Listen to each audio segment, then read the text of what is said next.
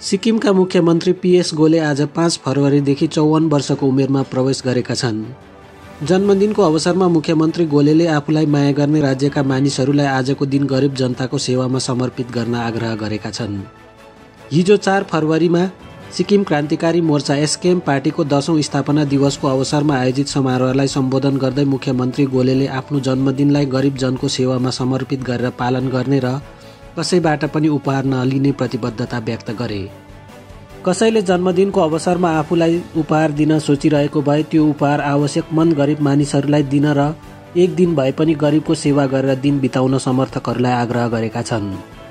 अर्कोतर्फ मुख्यमन्त्री गोलेले आफ्नो चौवन्नौ जन्मदिनको अवसरमा दक्षिण सिक्किमको रोलु मन्दिरमा पूजा अर्चना गरेपछि कमसे कम एक सय गरिब मानिसहरूसित भेट गरेर समय बिताउने बताएका छन्।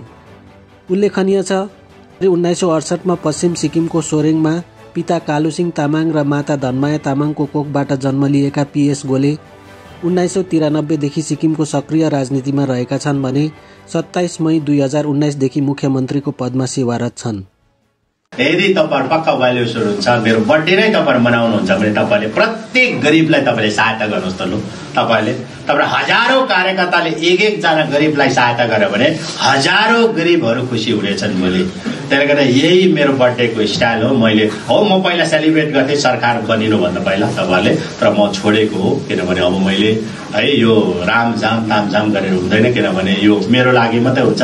फेरि मलाई भोलि बर्थडे बर्थडेको बर्थडेमा गिफ्ट दिनु आउनेहरू चिन्नेहरू त त्यही चिन्नेहरू त आउँछ फेरि। मलाई भेट्ने त आउँछ। हो कि लु भन्नुहोस् गरिब त आउँदैन नि भोलि लु भन्नुहोस् त बिचरा। त्यसले गर्दा म गरिबलाई भेट्छु।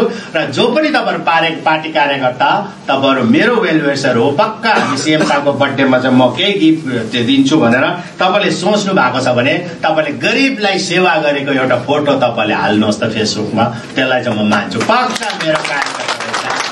मलाई मान्दा रहेछ भनेर म मान्छु है। तर मलाई नै दिनुपर्छ मलाई नै खुसी पार्नुपर्छ भने चाहिँ फेरि भएन। त्यो चाहिँ मलाई मलाई चाहिँ त्यो चाहिँ चम्चा गरेको मेरो।